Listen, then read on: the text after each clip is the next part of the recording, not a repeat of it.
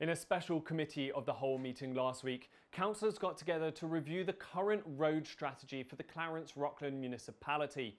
You can watch this whole meeting on our YouTube channel and welcome to Summary Report episode 2 for the brief notes.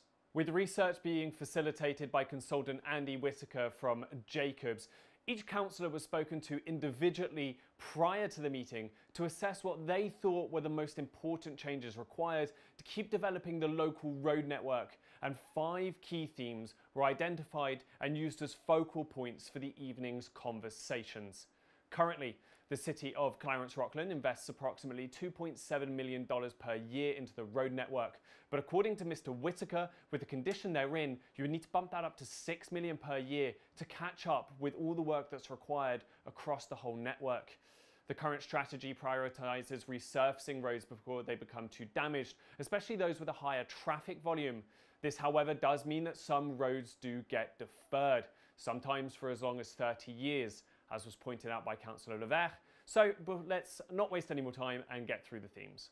The first theme of the evening was looking into the city's baseline plan, which is used to help identify the areas of priority. Councillors were asked throughout the evening if they agree or not with what was being presented and the systems that are currently in place. There was a strong agreement that due to the lack of available funding, a baseline plan is vital, but there was a general consensus that it could be improved and Councillor Don Bouchard had an idea of how. Don. Uh, so the, the issue that I have is just that it seems that we would need to have two separate programs. Like, so the ongoing program that we have right now, the baseline plan, but there needs to be another plan for what I'm calling the dead roads. Okay, so the roads that are so beyond repair that would cost way too much to even look at. So when we're looking at Schmegani, when we're looking at Monte Outaouais. I mean, you get on Monte Outaouais and you're there like, wow, where's the asphalt here? I mean, there's, there's, you know, it's beyond repair and it would be a high costly repair. And it's not a road that has a lot of population on it. And it's not a road that too many people pass on there, but it's still a nice road that goes to a nice golf course. And we're looking for economic development, bring people in. But by the criteria, it's not going to get done. So it's considered a dead road because it's just beyond repair. So what do we do about those roads? that are dead that would cost way too much money to redo. Because at some point, you know, and we're looking at Notre Dame right now, where we're putting some money into that one there, but we have a lot of those roads there. So, and we don't have the, the, the capital uh, investment to be able to fix those ones. So, what do we tell residents? What's the long term with those things? I mean, at some point, it's not like, you know, the road just eventually dies and we just close it and no one can go on it anymore. Well, we have to do something about it. So, there needs to be some sort of a parallel program, some sort of a parallel fund to say, okay, so we have the one fund that's on the baseline plan that we want to upkeep the roads, making sure that they don't deteriorate too much. But we need to have something in mind for those dead roads that are just way beyond repair right now, that are just way too expensive. And I understand I don't want to have one road cost $2.3 million for one year, then I've got uh, $400,000 left for the rest of the budget. But there needs to be something for those types of roads though. The second theme of the night was regarding flexibility and the fact that most councillors found that the plan and the system in place was a little bit too rigid, with the councillors unable to give as much input from the residents as they would perhaps want to. The theme suggested that there shouldn't be any ward that goes too long without having some kind of road project. This theme did create a little of a divide in opinions as some councillors didn't support the idea of dividing the plan between wards, and there was a cry for unity and to look at the municipality as a whole, as a collective. However, some suggested that there should be a difference between rural and urban, but that again creates a divide, as councillors explained. Uh, I think it's just to recognize the needs, and if we combine, we're just throwing ideas, and and like with Don's suggestion on the past theme, uh, then you might decide to invest large amounts for dead roads that are in rural and do some resurfacing instead in in, in uh, more urban roads. It just I think it gives us uh, a good recognition. Doing a kilometer in urban versus a kilometer in rural, I think there's a different in cost if you need to replace the infrastructure under. So I think I I I I don't I don't want to make it seem as, as a divide, but clearly as rebuilding Notre Dame and rebuilding a rural road, there's there's a lot of money difference involvement. I want to make sure the rural gets their a fair share as well. So I, I don't know if that makes it better. It's, it's, the it's all in the world, in the world flexibility, because uh, Councillor uh, brings a good point, you know, a, a, a road in rural to be reconstructed or to be resurfaced versus in urban is probably, uh, is different, but it can still be more costly in rural because you probably have a much longer road to do at this, uh, for the, between two other roads, while in, in the urban core, you may have a, uh, more expensive road to do per meter of road because you have infrastructure to change beneath, but it's a much shorter distance to cover. So the cost can be, so I think if you go by uh, the criteria of, of the road per se, and the flexibility comes in to say, okay, well, we, de we definitely need to change the infrastructure, like the sewers are, are leaking or whatever, the water main is done, we need to do it. Then the flexibility comes in that well, you do this road in the urban core sooner than it was projected in the plan because something else happened underneath. So I think that's where the flexibility comes in. Choinière? We have a high percentage of, of rural road and every ward has urban and rural roads. And the point I think what's important is again, we have to take into consideration where we want the development to go.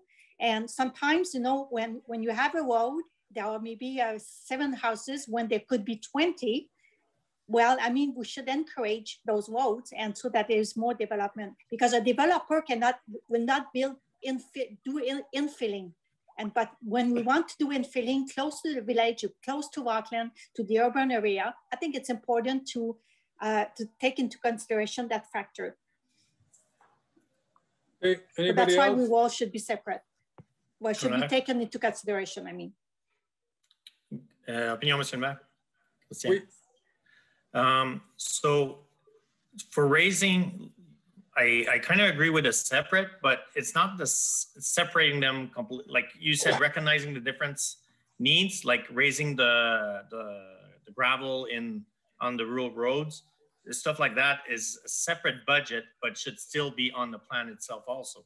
Same thing as ditching as, and all, and all those things too because in the urban area you barely have like ditches the way that we do and ours have been haven't been cleaned for years and there is irrigation problems and all that because of that.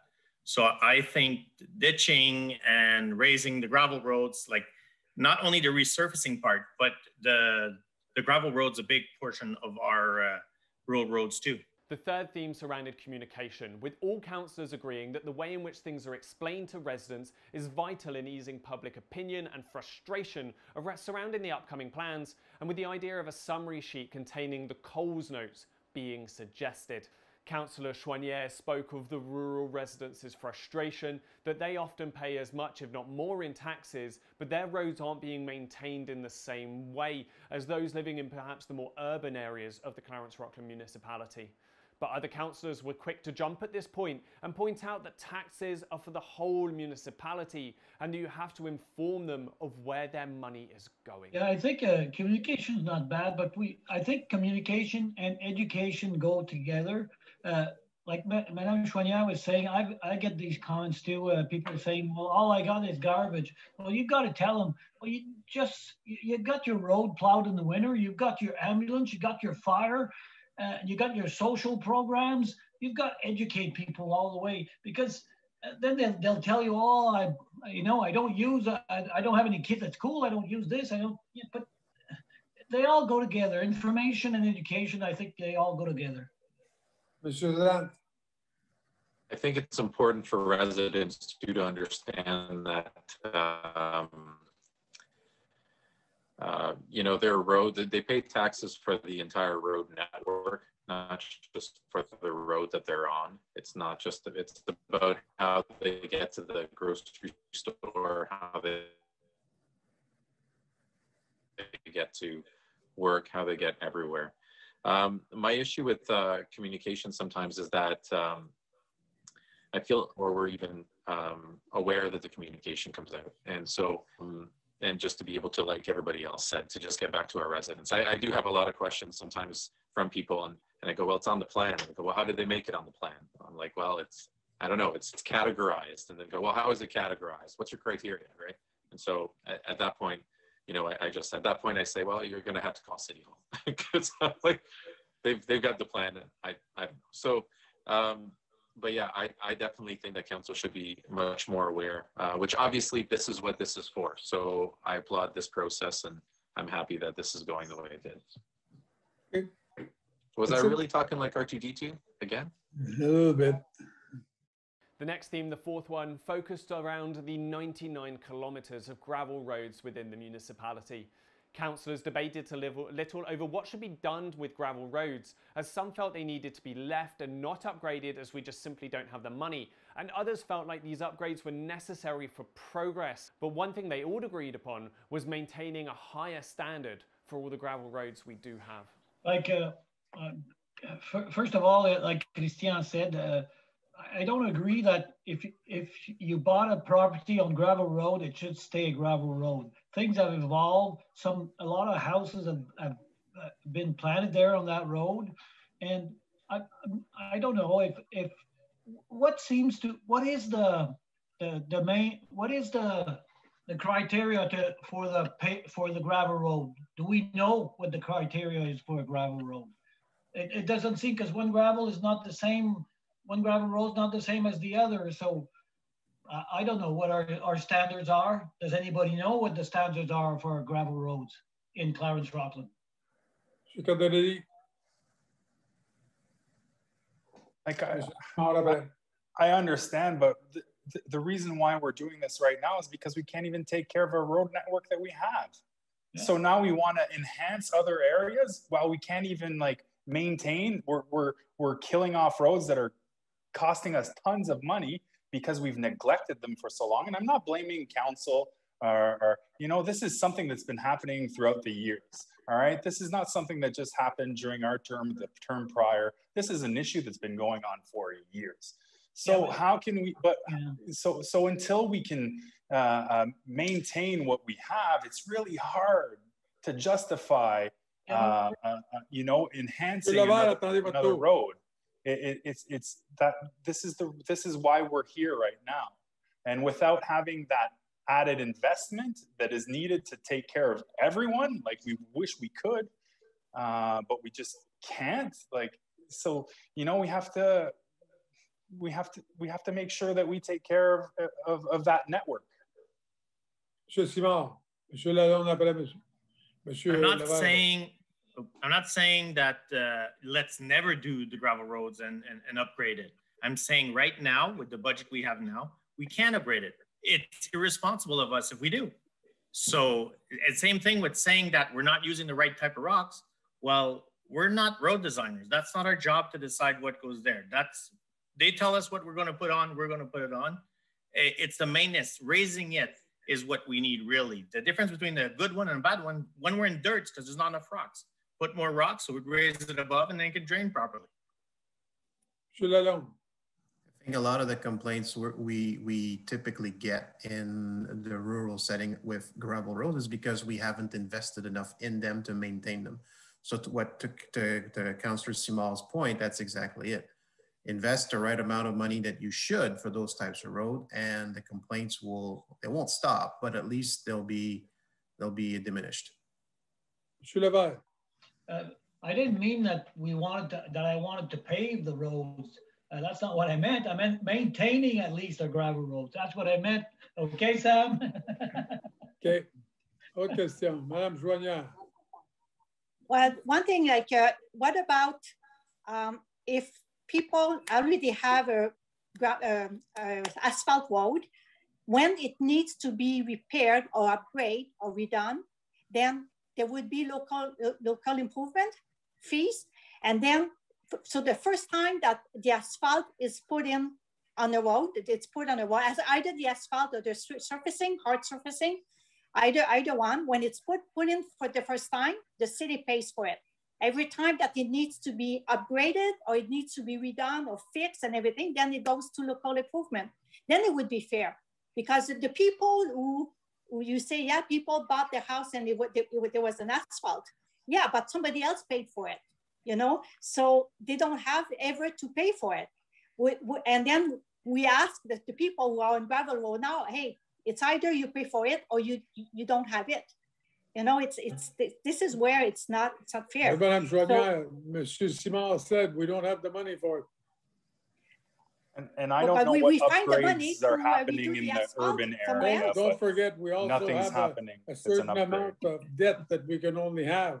So you can't pass that debt. If you put a debt too high, then we're stuck everywhere else.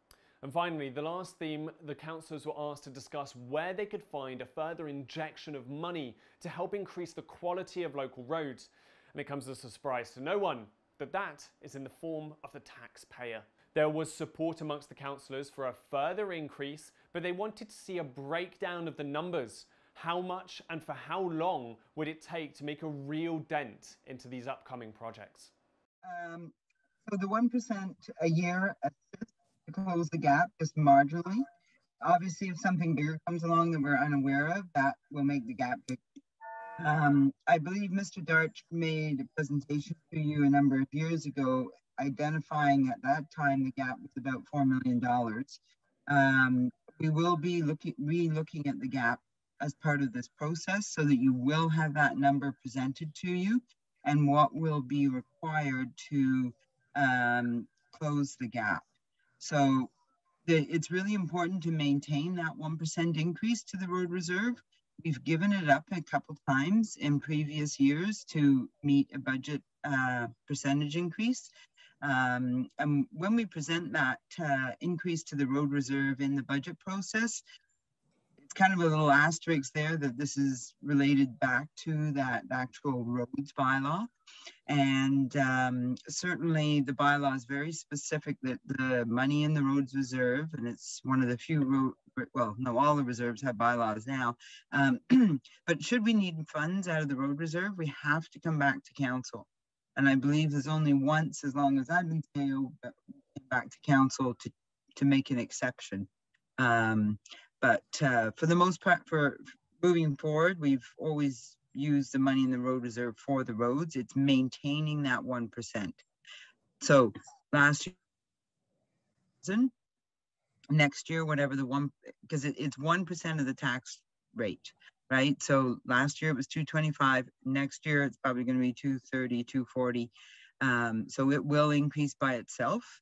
Um, however, giving it a boost will not hurt.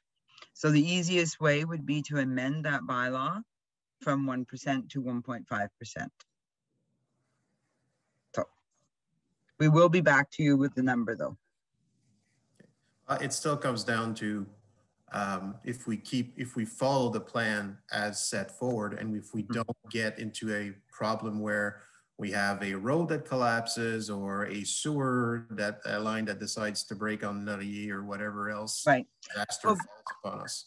So Having the asset management plan in place, in theory, correct me if I'm wrong, Julian, uh, we should not have surprises because we've done proper assessments and we should be able to move through and follow the plan.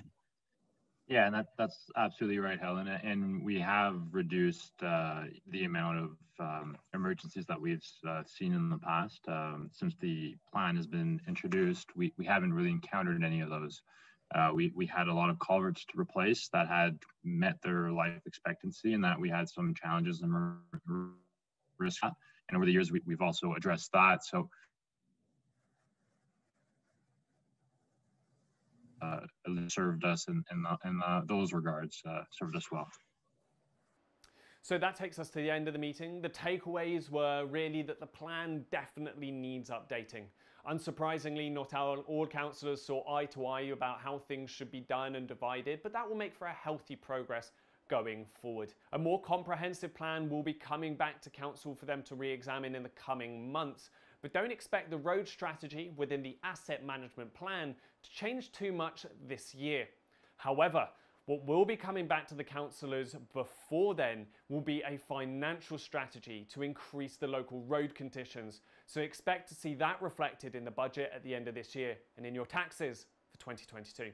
Thank you for watching the second episode of Summary Report, and we will see you soon. Goodbye.